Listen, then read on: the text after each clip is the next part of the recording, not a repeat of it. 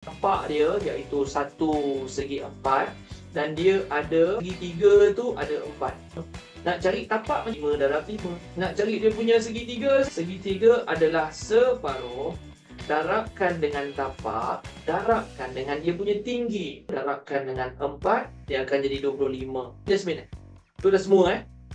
ah. Uh-uh. Okey, terima kasih. So, kita dah dapat kat sini 145.